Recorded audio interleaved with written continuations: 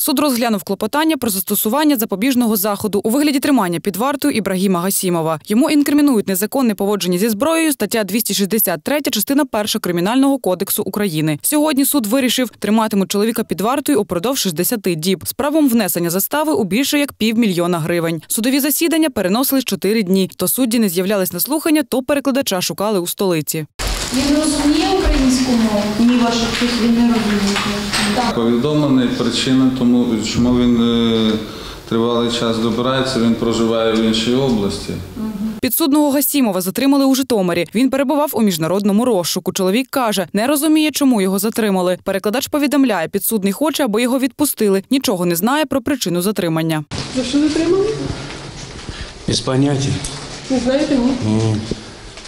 Ему вообще ничего не известно, он вообще этот, э, этим делом вообще никто.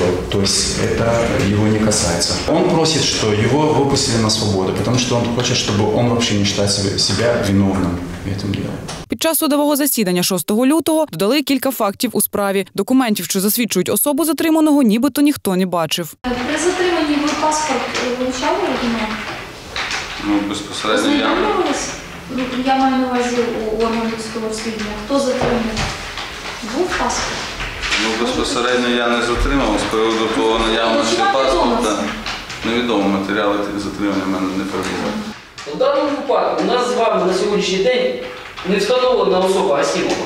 Немає жодного документа, який би посвідчував, що зараз у нас е, в клітці сидить е, Гасімов е, Ібрагім. Може це його брат Близнюк?